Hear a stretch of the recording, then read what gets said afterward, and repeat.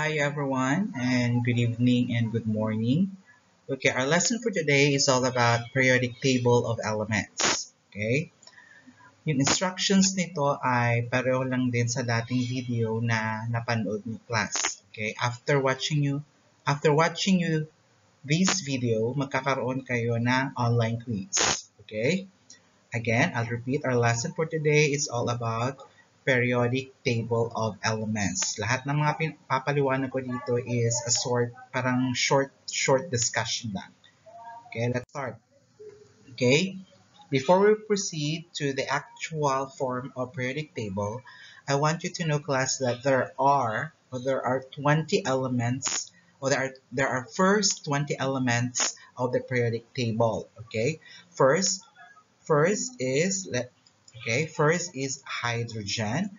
We also have helium, lithium, beryllium, boron, carbon, nitrogen, oxygen, fluorine, neon, sodium, magnesium, aluminum, silicon, phosphorus, sulfur, chlorine, argon, potassium, and calcium. Remember class, these are elements or these are 20 elements ang nakauna-unahang nakalagay or na-publish dito sa periodic table. Okay? Kung titignan nyo class, wait, okay, malaki siya. Malaking H. Ibig sabihin, ang ibig sabihin ng H ay hydrogen. Pero kung titignan nyo class, pag dalawang letters na, dapat yung kasunod na letter, it should be um, small letters. Dap, lagi niyo tatandaan ang unang letter sa pagsulat ng, ng chemical symbols na periodic table elements or elements, dapat big letter o nakakapitalize. Pagkasunod niya, dapat small letters. Okay? Sa bawat chemical symbols class, may tinatawag tayong atomic number. For example, hydrogen, the atomic number of hydrogen is 1. Bakit 1? Kasi siya yung kauna-unahang uh, elements na nakalagay sa periodic table. Later on, nakikita nyo. Okay, protons. Bakit protons? Kasi ang protons would have the same number sa atomic number. Pero hindi natin na, hindi natin yan pag-usapan ngayon. We will we will discuss that later pag pasukan na, okay? Again, ulitin ko, pag nagsulat kayo ng chemical symbols rather, ng tulad nito, beryllium, it should be the B is capitalized and the other E it should be right it ng maliit, maliit lamang. For example, silicon, hindi pwedeng malaking I yan. Dapat small i, small i, tapos malaking S. Just like this one, magnesium. Okay? Now, here in a calcium class, yung atomic number niya is 20 kasi doon siya nakalagay sa number 20. Later on, again, makikita nyo kung bakit ganito. Tapos, ang protons sa din 20 kasi um, kung ano ang number ng protons, ay ng atomic number, ganun din ang number ng protons. So, may rules and regulation to class when it comes to pagbabasa ng protons, numbers of protons at electrons, but we will not discuss that anymore sa video na ito. Okay, ulitin natin class there are 20 elements of the periodic table na makikita nyo again. Um, hydrogen, helium, lithium, beryllium, boron, carbon, nitrogen, oxygen, fluorine, neon, sodium, magnesium, aluminum, silicon, phosphorus, sulfur, chlorine, argon, potassiums, and calcium. Take note class, you need to memorize all the elements written on the periodic table. Because someday, or pagdating ng pasukan, I'll, I'm going to ask you one by one kung alam nyo yung mga elements na nakasulat sa periodic table. Okay? Let's move now to next slides. Ito class, ito yung ganitong itsura ng periodic table of elements. Actually class, you can buy these materials sa National Bookstore. Um, I think it's worth um, 100 plus lang ata to kung gusto nyo. For since all of you is in an online class, hindi nyo na kailangan bumili, kundi mag-print out na lang kayo gamit, gamit nito o kaya mag-research ka about this. Okay.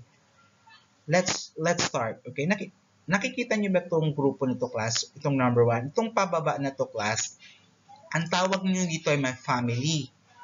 Family from hydrogen down to francium. Okay? Ito ay family ng alkaline metals.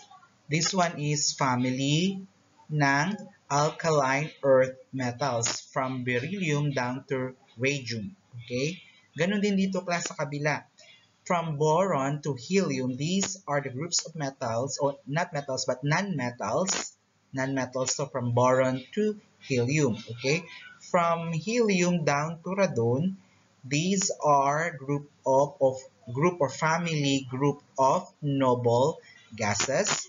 Kasunod niya is halogens from fluorine, chlorine, bromine or bromine, iodine, and astatine. And then chalcogens. Ito ay grupo to siya ng chalcogens from oxygen down to polonium. And then this one is a nitrogen groups from nitrogen, phosphorus, arsenic, antimony, bismuth, and moscovium. Okay? These ano, may pa isa class. Carbon, these are the carbon groups. Car carbon group, sorry. Carbon, silicon, germanium, tin, lead, and phlebium. Boron, aluminum, gallium, indium, thallium. Okay, tandaan nyo class ha, ulitin ko, mula dito sa taas, pababa, these are the group. Okay, group yan sila. Group ng alkaline, metals, itong pangalawang group mula taas pababa o column, ang tawag nito ay alkaline earth metals. Dito naman tayo sa kabila, ang tawag niyo dito ay noble gases. This one halogen groups. This one chalcogen groups. This one is nitrogen groups. This one is a carbon group and this one is boron group. Tandaan nyo class, from boron to helium, these are the non-metals. Ibig sabihin class, hindi to sila ay these are the non-metals at may tinatawag din tayong metalloids. Ibig sabihin, these uh, metalloids ay combination ng metal at non-metal na elements. Okay, later on, pag nag-discuss tayo susunod na lesson natin, i-expound ko to ng maigi class. So again, class, pag may nakita kayong black, ito black color na na na chemical symbol, for example, magnesium, scandium, titanium, vanadium, these are solid na element. Ibig sabihin solid sila. Okay? Pag may nakita kayong blue class, blue, for example, asan ang blue dito? Blue. Um, this one, mercury, liquid. Okay? As you can see, mercury lang ang merong o ang liquid sa elements na to. Pag may nakita kayong red class o gas, ibig sabihin these are the gases mga gaseous elements. Ito, nitrogen, oxygen, fluorine. Okay? Pag RF class, ibig sabihin mga unknown. Mga unknown, this one, itong sa baba. Unknown elements. Okay? Next is, next is, um, ang mula dito sa, ah, wag to class, itong green. Mula dito sa scandium, papuntang zinc, dito sa baba, nakikita nyo yung class, alakihan natin ng ano. Okay, mula dyan hanggang dito, sila yung lanthanoids o lanthanoids or lanthanide group. Itong areang to. Okay? Areang to. Okay, itong area naman sa baba class, as you can see, ito yung area or or or group ng actinoids o actinides. Okay? Actinides to class ha. Okay, kanina na ituro ko sa inyo yung family. Ngayon ituturo ko naman sa inyo class yung per period. Okay, mula 1 papunta dito class, period 1 yan. Ibig sabihin yung hydrogen and helium period 1. Okay? Sunod, ang period 2 class, itong naka-straight yan. Yung straight na yan, yan ang period 2. Mula lithium hanggang neon. Those are the elements that belongs to uh, period 2. Ganun din sa number 3. From sodium to argon. Those are the elements that belong to that belongs to period 3. Kaya nakikita niyo class may period 1, 2, 3, 4, 5, 6, 7. Ibig sabihin, these are the period. For example, pag sinabi ko, anong period na papabilang ang radium? Ibig sabihin, hanapin yung radium. Ang period, Ibig sabihin na sa period 7. Ano namang family na papabilang ang tin? Ang tin, this one, tin, SN, napapabilang siya sa carbon group o carbon family. Okay, did you get it? Tandaan nyo class, ang period mula 1, mula left side, papuntang right side. Pag sinabi namang, um, what do you call this one?